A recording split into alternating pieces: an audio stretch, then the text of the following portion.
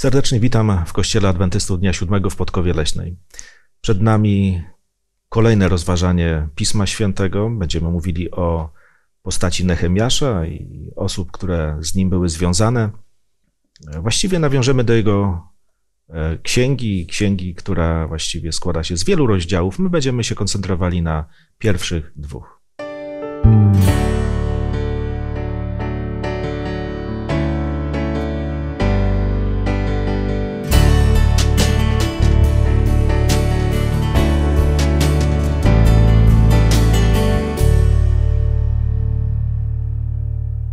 Razem ze mną e, w rozważaniu dzisiaj biorą udział Małgosia, Mariusz, Janusz.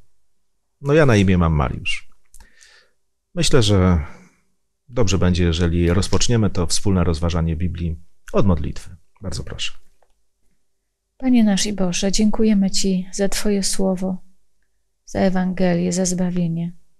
Dziękujemy Ci za to, że możemy rozważać i uczyć się z Twojego słowa. I prosimy, bądź z nami przez Twojego Ducha Świętego, prowadź to studium i prowadź tych, którzy słuchają i oglądają. Amen. Amen. Wydarzenia, o których dzisiaj rozmawiamy, dzieją się już po powrocie Izraelitów e, do swojej ojczyzny po babilońskiej niewoli. E, właściwie, gdybyśmy tak chcieli szczegółowo to określić, to jest rok mniej więcej około 445 przed naszą erą. Tak się składa, że Izraelici już wcześniej wracali właśnie z tej niewoli babilońskiej. Pierwszy dekret, który im to umożliwił, to był dekret Cyrusa. E, zaraz właśnie po zakończeniu tych 70 lat niewoli około 50 tysięcy Żydów wróciło do swojej ojczyzny. Nie oceniamy, czy to dużo, czy nie, ale to była taka większa grupa, jak się okazuje. O tym czytamy w pierwszym rozdziale księgi Ezdrasza.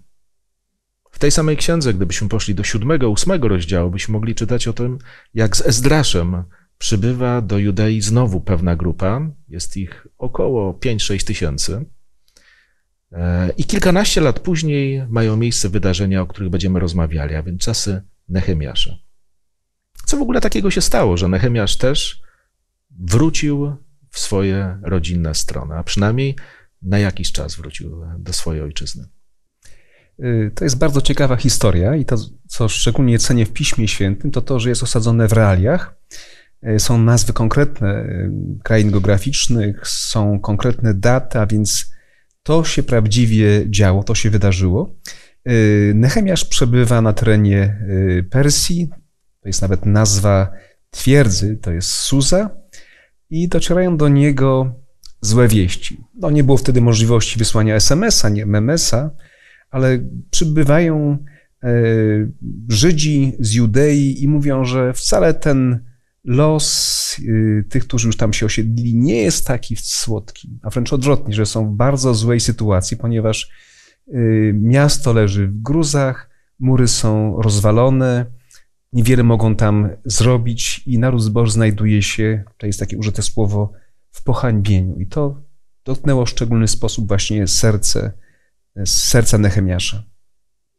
Ja bym jeszcze dodała, że Nehemiasz musiał być bardzo przygnębiony, dlatego że minęło ileś czasu i on się spodziewał zupełnie innych wiadomości. I to nie jest tak, że spodziewał się takich, potwierdziły się i był przygnębiony, no, Izraelici wrócili do swojej ziemi, żeby odbudować Jerozolimę i żeby odbudować świątynię i służbę świątynną. Więc myślę, że Nehemiasz w tym momencie spodziewał się bardziej pierwszych raportów, jak ta służba świątynna zaczyna działać. A tutaj y, kompletny kontrast, zupełnie, zupełnie co innego. I z reakcji Nehemiasza widzimy, że no nie spodziewał się tego, więc nie wiem, co tam się działo, że Nehemiasz spodziewał się zupełnie innych wieści, dostał takie strasznie negatywne. No i czytamy dalej, że był przygnębiony, bardzo źle to przyjął i oddał komu trzeba sprawę do załatwienia. Tak przy okazji, zobaczcie, to mnie trochę dziwi, bo ma dobrą pozycję. Musiał się martwić o to, co dzieje się z jego narodem. On jest w Suzie, jest pod czaszym królewskim, więc jest pewnie drugą postacią w Persji po, po królu nagle współczuje, współczuje tym, którzy gdzieś tam są daleko. To też dobrze świadczy o nim jako o człowieku Bożym, o, o przywódcy. Współczuje tym, którzy mają gorzej aniżeli on sam. Dużo jest tutaj takiego autentyzmu, zobaczcie, bo rzeczywiście można byłoby zapytać, a co tam słychać? Spotkaliście się pewnie z takimi sytuacjami, że ktoś was pyta, a co tam słychać, próbujesz mówić, ale ty widzisz, że już go to nie interesuje. Mhm. Bo to taka kurtuazja. Albo właściwie, no niektórzy tak mają, na pytanie, co słychać, a wszystko w porządku. No jak jest w porządku, to dobrze. Ale ta historia nie mówi o tym, że wymieniono sobie jakieś ploteczki, tylko mówiono o sprawach naprawdę, naprawdę ważnych. I gdy czytamy na przykład takie zwroty e, tutaj na początku Księgi Nehemiasza, że ludzie żyją w wielkiej biedzie i pohańbieniu. Dlaczego? Bieda nam się jednoznacznie może kojarzyć, ale czytamy między innymi, albo mury Jerozolimy są rozwalone, bramy spalone. E, I Nehemiasza to bardzo interesuje. Jest to dla niego coś, co nim mocno wstrząsnęło. E, Mówiłeś właśnie o takim autentyzmie przeżywania czegoś, co dotyka nie bezpośrednio jego. A właściwie jak to? Nie dotknęło to go bezpośrednio? Historia będzie mówiła dużo o emocjach, o prawdziwym przeżywaniu, ale i o jakimś takim konkretnym działaniu, ponieważ już e, czwarty werset tej księgi mówi o tym, że Nehemiasz nie tylko się dowiedział, przeżył pewien wstrząs, tylko co? W czwartym wersecie pierwszej księgi Nehemiasza możemy przeczytać takie słowa: Gdy usłyszałem te słowa, us- usiadłem i zacząłem płakać. Smuciłem się bardzo przez szereg dni, poszcząc i modląc się przed Bogiem niebios. To pokazuje nam, że prawdziwie wierzący ludzie i w dzisiejszych czasach prawdziwi chrześcijanie, kiedy mają problemy, przychodzą z tym do Boga, przychodzą tak szczerze, czasami nawet ze łzami, płacząc, bo sytuacja może być bardzo trudna i w takiej właśnie sytuacji, e, przed taką sytuacją stanął Nehemiasz. Myślę, że mm, można zauważyć w wielu biblijnych historiach, że przed taką prawdziwą jakąś reformą, jakąś zmianą, zawsze mm, jakaś prawdziwa reforma czy zmiana była poprzedzona modlitwą, postem, tym, co może zmieniać nas naprawdę tak głęboko wewnętrznie. i autentycznym przeżywaniem. Zobaczcie, czytamy innego proroka, proroka Daniela, który gdy dowiedział się o historii, która będzie naprawdę trudna dla ludu Bożego, to jest powiedziane, że zemdlał albo że pobladł. To są reakcje człowieka, który reaguje w sposób y, bardzo, bardzo głęboki i to jest coś pozytywnego. To jest coś pozytywnego. Bym jeszcze dodała, że y, czasami jak czytamy Biblię, to wydaje nam się takie oczywiste. Natomiast to zachowanie Nehemiasza wcale nie jest oczywiste nawet y, dla chrześcijan teraz, bo jeżeli wyobraźmy sobie, że dowiadujemy się o jakimś zborze, że spaliła im się kaplica, że nie wiem, był jakiś napad, że coś się strasznie złego dzieje. Pytanie, kto z nas by faktycznie wtedy zapłakał nad tym losem, jeszcze jak komuś by się coś złego stało, i zaczął y, od razu modlić się, pościć, prosząc Boga o rozwiązanie. A porównam to z takim zachowaniem, że złość, chęć zemsty na tych, którzy to uczynili, albo wręcz myślenie o naszych braciach i siostrach, że niedołężni, nie dali sobie rady, nie zabezpieczyli tego miejsca odpowiednio. I tutaj Nehemiasz alternatywnie miał do wyboru takie uczucia, takie zupełnie ludzkie uczucia, a widać, jak Nehemiasz był też człowiekiem Bożym. E, I ten lud izraelski i jego, e, jego historia, to co ma się zadziać, obietnica tego, co ma się zadziać po 70 latach, on żył tą obietnicą, żył tą nadzieją, i tutaj te negatywne emocje, w ogóle ich nie widać. koncentruje się na, na rozwiązaniu. E, Wspomniałem o tym, że e, kilkanaście lat wcześniej przybył tam Ezdrasz. Ale Ezdrasz nie jest obiektem e, uśmieszków, mówiąc, ach, co on zrobił, albo nie dopełnił, albo mógł więcej. Nie, to, to, nie ma, to nie ma znaczenia w tym momencie. Natomiast kiedy czytamy o tym, że pości i modli się, to myślę, że warto zwrócić uwagę na treść tej modlitwy zapisanej w pierwszym rozdziale od wiersza 5 do 11, bo ona, no oczywiście może nam się kojarzyć z innymi pięknymi modlitwami Pisma Świętego, ale pokazuje, co, w jaki sposób leżało na sercu właśnie Nehemiaszowi. Sięgnijmy może do, do tego ciekawego przykładu. Czytam od piątego wersetu, modlitwa Nehemiasza. Tymi słowy modlił się. Ach, Panie Boże niebios, jesteś Bogiem wielkim i strasznym, który dotrzymuje przymierza i okazuje łaskę tym, co go miłują i przestrzegają jego przykazań. Niechaj Twoje ucho będzie uważne, a Twoje oczy otworzą się, aby wysłuchać modlitwy Twego sługi, którą ja zanoszę teraz do Ciebie dniem i nocą za synów Izraela, sługi Twoje oraz wyznania grzechów synów izraelskich, którymi zgrzeszyliśmy wobec Ciebie, także ja i dom mojego ojca zgrzeszyliśmy. Nic nie postąpiliśmy wobec Ciebie, nie przestrzegaliśmy przykazań i ustaw i praw, jakie nadałeś Mojżeszowi słudze swemu. Wspomnij na słowo, jakie zaleciłeś Mojżeszowi swemu słudze, powiadając, jeśli wy popełnicie wiarołomstwo, ja rozproszę was pomiędzy ludami. Lecz jeśli nawrócicie się do mnie i będziecie przestrzegać moich przykazań i spełniać je, to choćby wasi rozproszeni byli na krańcu niebios i stamtąd ich zbiorę i sprowadzę na miejsce, które obrałem na mieszkanie dla mego imienia. Modlitwa pełna skruchy, wyznania winy, ale zwróćcie uwagę, nie rozpoczyna się ona właśnie od e, prośby, Boże, zrób coś z tym. Nie. Od czego się ta modlitwa zaczyna? Od wyznania grzechów. No, chyba też nie. Spójrzmy na werset piąty. Od uwielbienia Boga. A, no tak. Tak, jesteś Kim- wielki, kim jest jesteś wspaniały. E, Dlaczego na to zwracam uwagę? Bo zobaczcie, patrzymy, że w tym wszystkim to nie Żydzi są najważniejsi.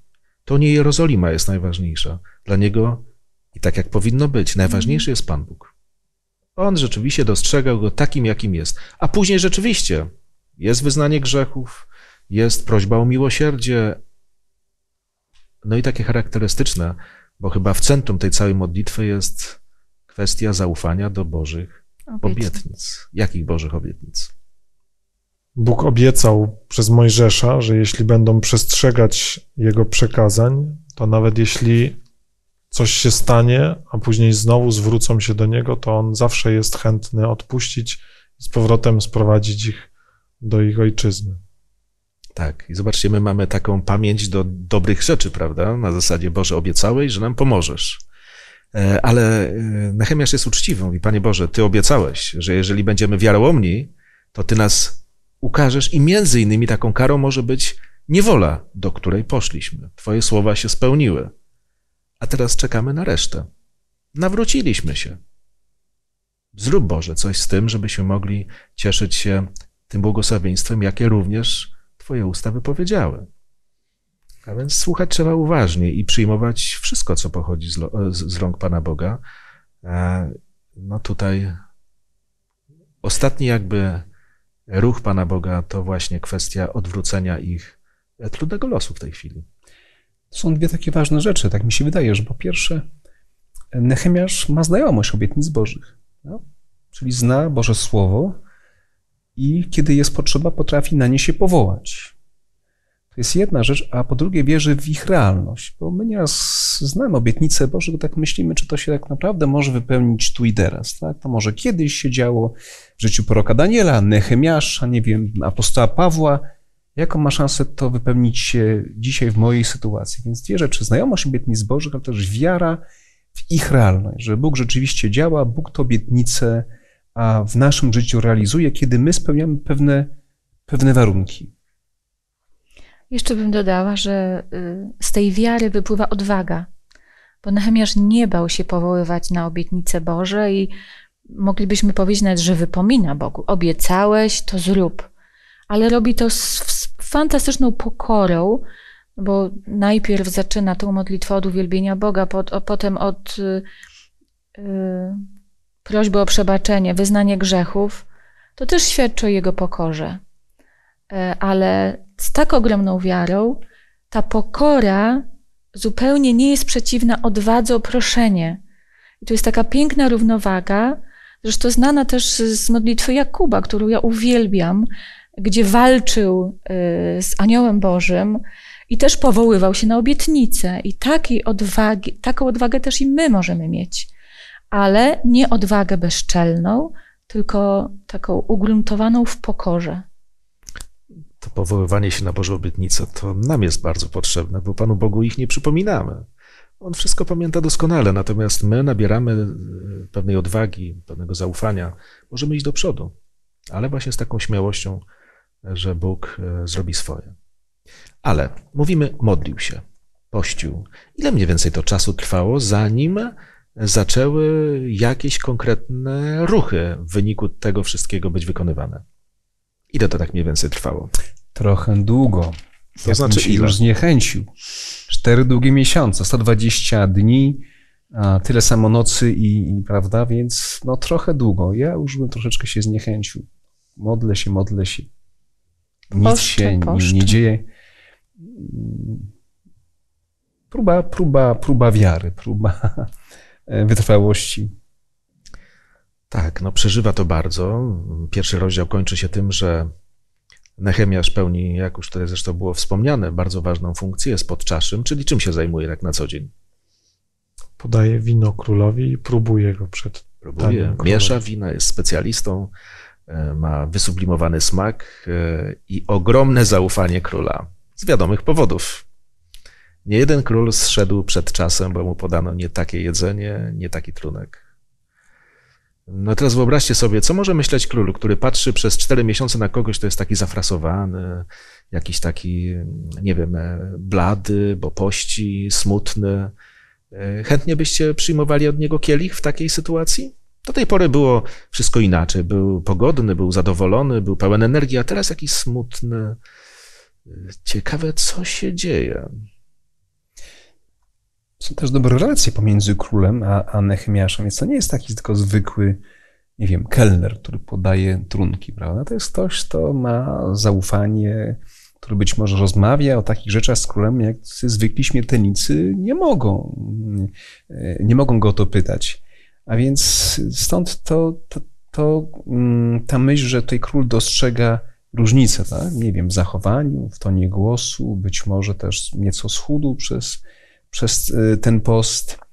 Więc Też tutaj pogański król ma, ma pewną wrażliwość i właśnie pyta o to, co, co się dzieje z tym człowiekiem w taki bezpośredni sposób.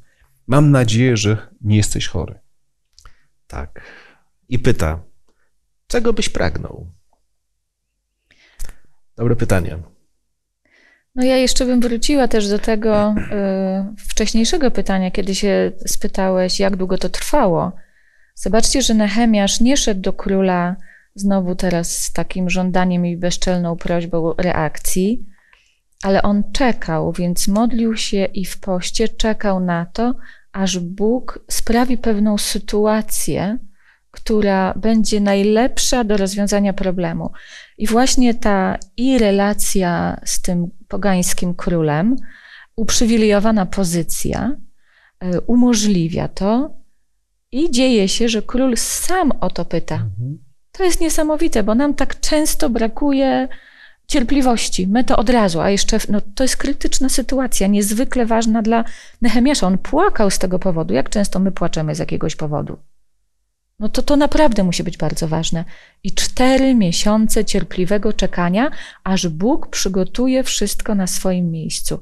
I wtedy król się pyta, i Nehemiasz, jak mówi, to oczywiście od razu przechodzi do sprawy, która go nurtuje. Więc nie skupia się na sobie, ale na problemie, który istnieje i o który Boga prosił o załatwienie. Już teraz wiem, kto potrzebował tych czterech miesięcy. To nie Bóg, prawda? Kazał sobie czekać cztery miesiące.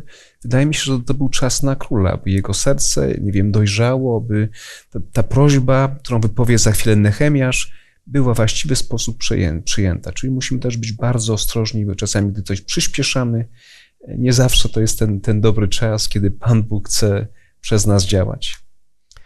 E, Pozwólcie, że przeczytam dwa wersety z tego drugiego rozdziału, czwarty i piąty. Ja korzystam z przekładu e, Ewangelicznego Instytutu Biblijnego i tu jest napisane tak, że król pyta, czego więc, czego byś więc pragnął? spytał król.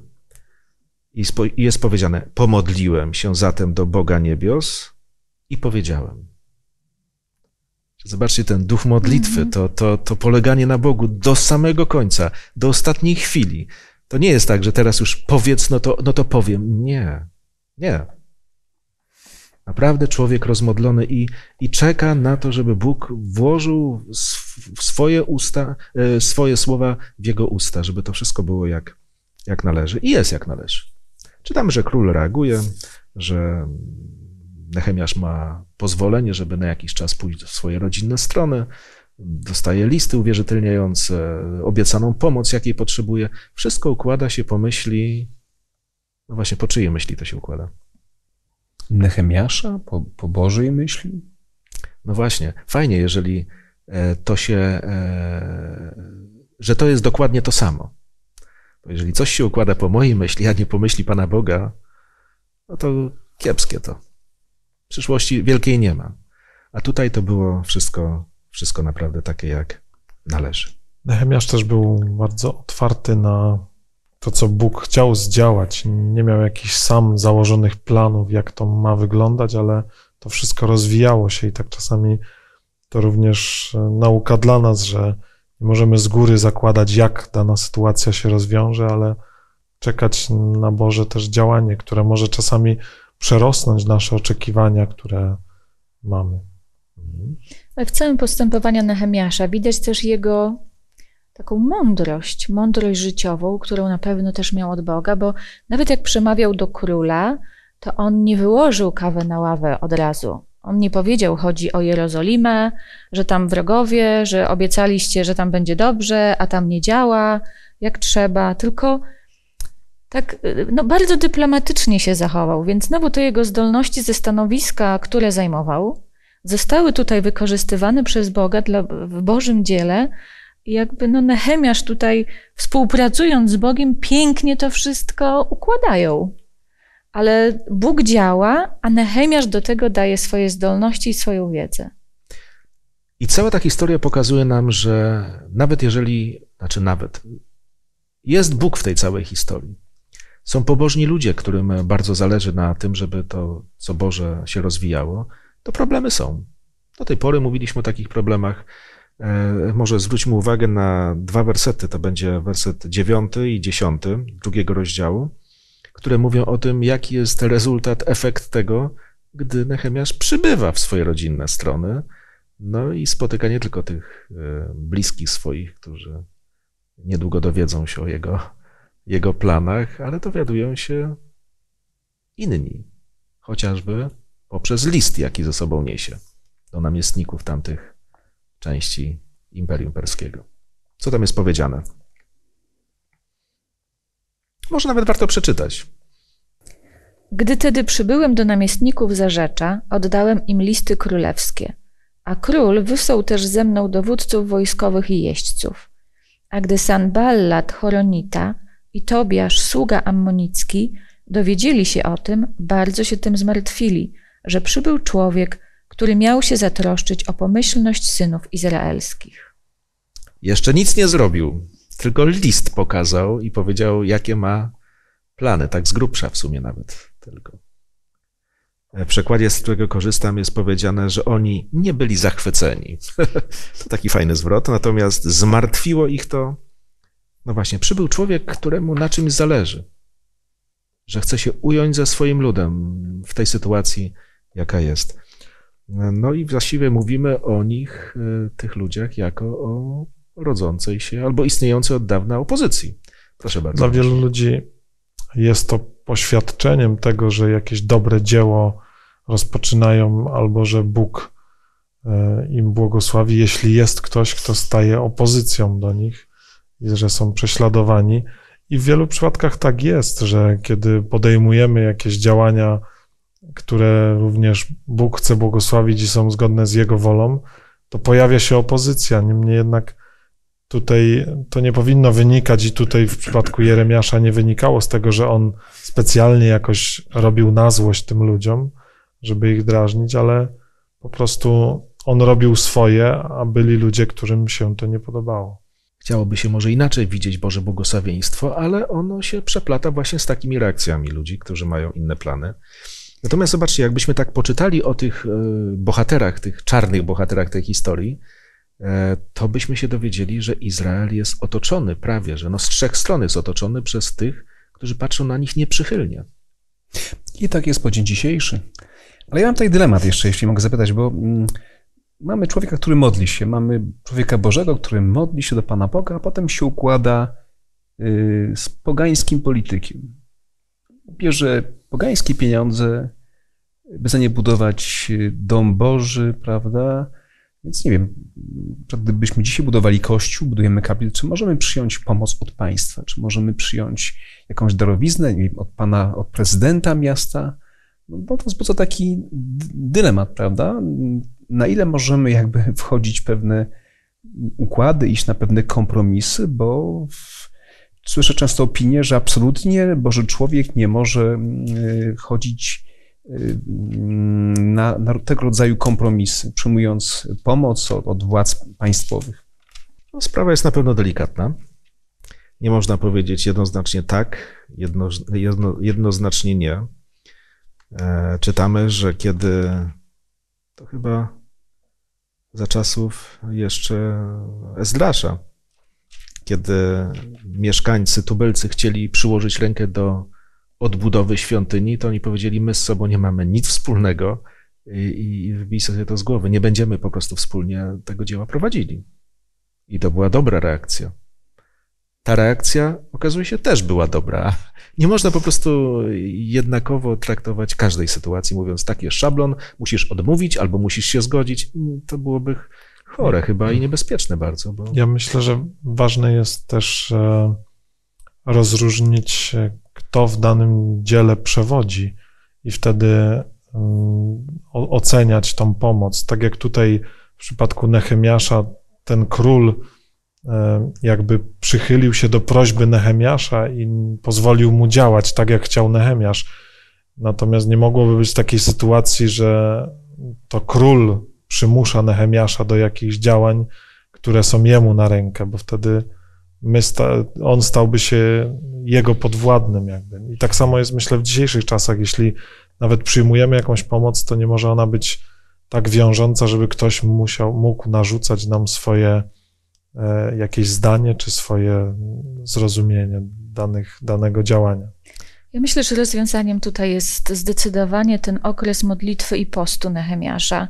Dla Nehemiasza to ta króla reakcja była odpowiedzią na jego modlitwę, więc na pewno nie miał żadnego dylematu, czy przyjąć tę pomoc, czy nie. Więc jeżeli mielibyśmy w czasach dzisiejszych taki dylemat, to myślę, że post, modlitwa, o sprawienie właśnie takiej nawet podobnej reakcji, bo przecież te przykłady w Biblii mamy po to, żeby się z nich uczyć.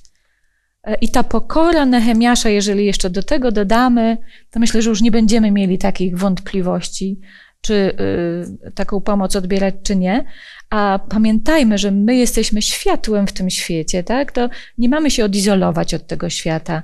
Mamy być świadkami Jezusa, świadkami Boga w świecie na różne sposoby, a nie możemy być świadkami, jeżeli nie współpracujemy. Mówimy o pewnym niebezpieczeństwie ocen.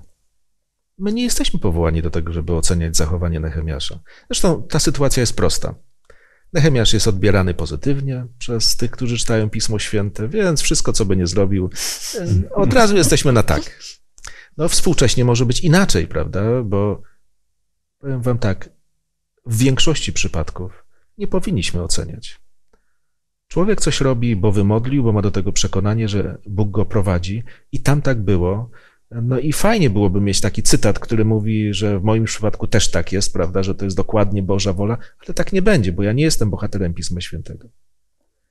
Natomiast ocenianie samo w sobie niesie w sobie, e, nie, nie, nie, niesie za sobą e, takie ryzyko, że jest w tym może próba, nie wiem, zatrzymania pewnych nawet dobrych e, kierunków, a może czasami niektóre rzeczy trzeba zatrzymać. Także nie ma jednej odpowiedzi, ale dobrze też być ostrożnym i powściągliwym w ocenie wtedy, kiedy mam taką tendencję, że wszystko krytykuję, to, to tym bardziej powinienem być ostrożny.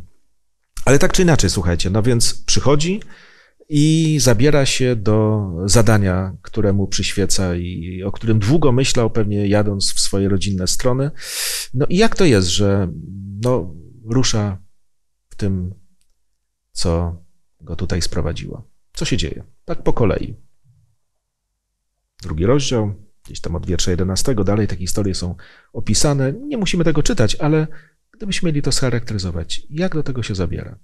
Jest kilka dni w Jerozolimie, i czytamy, że pewnego dnia, w zasadzie w nocy, zerwał się nie wiem, jakieś natchnienie do niego, na niego mm, przyszło, zrywa się i postępuje w dziwny sposób. Urządza taki nocny spacer wokół murów Jerozolimy, by sprawdzić, jaki jest stan. Z nikim nie, tego nie uzgadnia, nie bierze żadnych osób do pomocy. Robi taką właśnie y, taki zwiat, prawda, zupełnie samotnie y, w nocy, więc troszkę takie może nawet dziwne zachowanie. Jak wam się wydaje? No, słowo klucz na pewno jest w wersecie 12. Myślną natchnął mnie mój Bóg. Mhm. Czyli sam tego nie robi. I czy dziwną? Z jakim nastawieniem Nehemiasz jechał do Jerozolimy?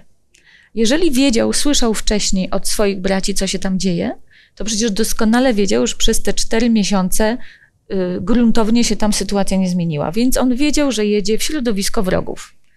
Jerozolima otoczona przez wrogów, więc zdecydowanie, biorąc pod uwagę pobożność Nehemiasza, jego dyplomację, jego stanowisko, jego wiedzę jako mądrość, to on sobie tam plan przygotowywał i on y, bezmyślnie, spontanicznie nie działał. To jest właśnie piękne, ja to uwielbiam w Nehemiaszu, że on tą spontaniczność po to oddawał Bogu. Sam spontanicznie nie działał.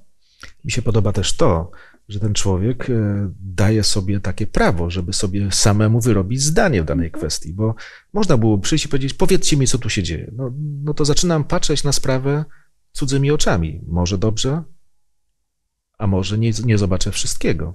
On chce to zobaczyć. Słowa takiej osoby, która naocznie coś widziała, są zwykle dla jakiegoś audytorium słuchaczy bardziej wiarygodne więc na pewno nabrał tej wiarygodności, a dodał jeszcze do tego, to też jest piękne w jego zachowaniu, swoje doświadczenia z Bogiem. I teraz, jeżeli, no bo potem po tej przechadzce przez y, kilka nocy oglądał, patrzył, przyglądał się, myślał, na pewno się też modlił i nastąpił czas przemowy do braci, żeby znowu ich zmotywować do odbudowy. To musieli być ludzie niezwykle zdemotywowani. Oni pewnie nie chcieli już tam nic robić, próbowali, nie udało się. No ile można próbować? No widocznie nie jest wolą Bożą, żeby to się zadziało. No tak. Ale zobaczcie, 17 werset mówi, w końcu jednak wyjawiłem mój plan. Czyli on sobie popatrzył i miał plan. To nie jest tak, że rozłożył ręce i słuchajcie, no nie wiecie, no ja też nie wiem, no to sobie tak posiedzimy dalej i po, pomyślimy. Nie, on miał plan. Mi podoba się tutaj to, co właśnie pokazuje, że często w działaniach, które też są prowadzone, takie można powiedzieć, w Bożym dziele, potrzebni są ludzie, którzy dobrze umieją zarządzać. Bo Nehemiasz był bardzo dobrym człowiekiem od, od zarządzania, menadżerem, który nie pokazał wszystkiego, co chce zrobić od razu, tylko ludziom po małych kroczkach pokazywał, żeby się nie zniechęcili, bo gdyby im powiedział od razu, chcemy takie dzieło zrobić, to każdy może by machnął ręką i powiedział, że nie jesteśmy tego w stanie zrobić, ale on ich zachęcał, aż tutaj mamy później relację w 18 wersecie, że wszyscy wtedy rzekli, zabierzmy się do budowy, czyli jakby chcieli ten plan jego realizować. No i oczywiście to, co najbardziej ludzi przekonuje i wtedy, i dzisiaj, kiedy mówi, opowiedziałem im o, dobrotliwej ręce Boga, który zadziałał w moim życiu, który sprawił, że król przychylił się do mojego dzieła i to ludzi najbardziej zachęciło i to jest też e, nauka dla nas dzisiaj. E, to jest ważne, to jest osobista historia. Często mówimy o tym, co jest napisane w Biblii, prawda, albo jak Bóg działał w życiu innych ludzi, a on mówi o tym, jak Bóg działał w jego życiu. To jest autentyczne. Tego nikt nie może zakwestionować, bo to jest to, co on przeżył z Bogiem i to jest podstawą do tego, by powiedzieć, również teraz Bóg może działać wśród nas w podobny sposób. Prawda? Jeśli mamy tej pewności, to mamy tylko pewną teorię, nawet teorię biblijną, dobrą teorię, ale, ale nie ma tej historii. Nie ma tej osobistej historii. Tutaj myślę, ona jest yy, kluczowa. Ci ludzie mieli budować swoje przekonania na Bogu. Yy, w przekładzie, z którego korzystam, jest powiedziane: Następnie opowiedziałem im o dowodach troski mojego Boga. Oni się troszczyli. To ja wam powiem, jak się Bóg o nas troszczy i jak to, jak to wygląda w praktyce. E, także rzeczywiście dalej jest powiedziane, wezbrała w nich siła, przyłożyli ręce do dobrego dzieła. Wezbrała w nich siła. E, no można powiedzieć tylko życzyć sobie, prawda, czegoś takiego, że dobre, dobre plany, dobre cele, Boże cele e, żeby znalazły takie rozstrzygnięcie. Ale kończąc powoli to nasze rozważanie, może przeczytajmy jeszcze ostatnie dwa wersety. Werset 19, 20 drugiego rozdziału. One właśnie też mówią o takiej postawie Nehemiasza w konkretnej rzeczywistości, o jakiej mówimy. A gdy Sanballat, Choronita i Tobiasz, sługa amonicki oraz Arab Geszem dowiedzieli się o tym, drwili z nas i lżyli nas, mówiąc, cóż wy to tu wyczyniacie? Czy buntujecie się przeciwko królowi?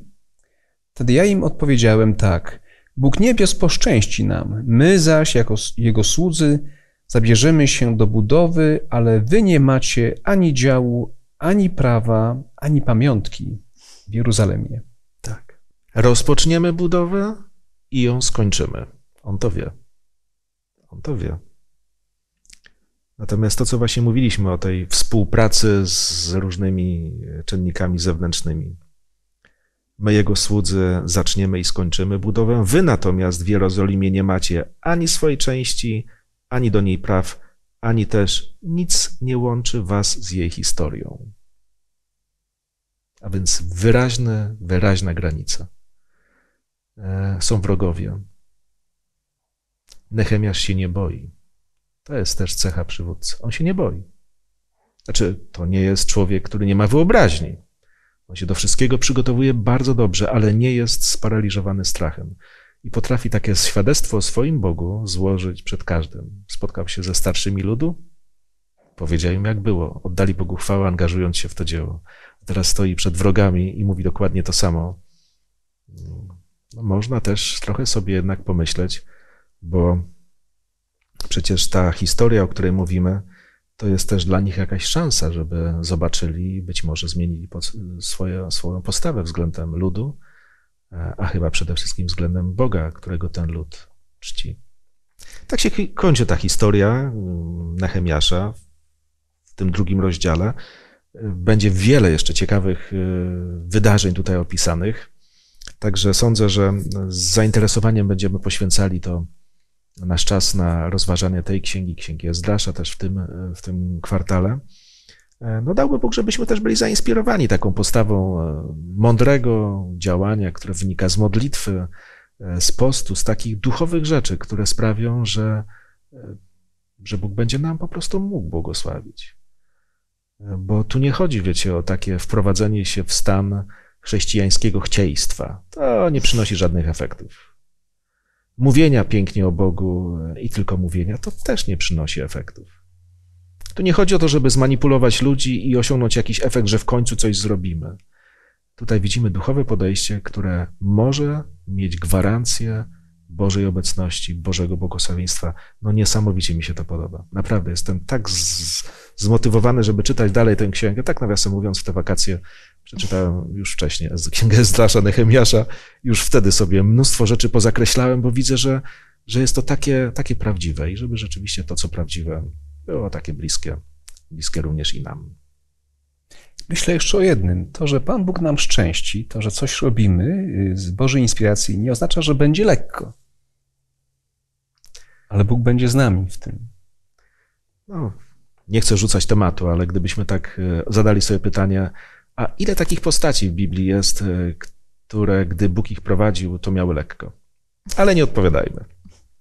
Nie odpowiadajmy. Moi drodzy, dziękuję Wam za ten wspólnie spędzony czas przy Bożym Słowie, przy tej księdze, naprawdę rewelacyjnej jak dla mnie. Chciałbym też podziękować wszystkim, którzy z nami e, śledzili treść e, pierwszych dwóch rozdziałów Księgi Nehemiasza.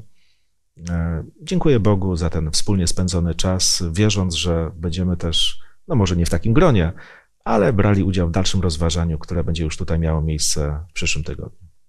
Kończąc to nasze spotkanie, nasze wspólne rozważanie Biblii, pomódlmy się. Nasz święty i dobry Boże, który mieszkasz w niebie, chcemy Tobie z głębi serca dziękować za to, że uczysz nas poprzez historię, poprzez takie prawdziwe wydarzenia, które kiedyś miały miejsce w dawnej przeszłości, a z których my dzisiaj również możemy wyciągać wnioski. Dziękujemy Ci za historię Nehemiasza, za historię wielu mężów, którzy żyli, byli wierni Tobie są dla nas przykładem, natchnieniem. Proszę Cię, abyś błogosławił każdego z nas w naszych przedsięwzięciach, w naszych poczynaniach, abyśmy patrząc na innych zachę byli zachęceni do tego, żeby nie poddawać się, ale zawsze by iść śmiało, wier wiernie Tobie służąc. Za wszystko Tobie składamy chwałę, cześć, podziękowanie w drogim imieniu Jezusa Chrystusa. Amen. Amen. Jeszcze raz bardzo dziękuję za ten czas i Życzę nam wszystkim, słuchajcie, żebyśmy potrafili polegać na Bożych obietnicach, ale w taki prawdziwy, zdrowy sposób, który sprawi, że nasze życie będzie miało naprawdę fajny wymiar. Dziękuję.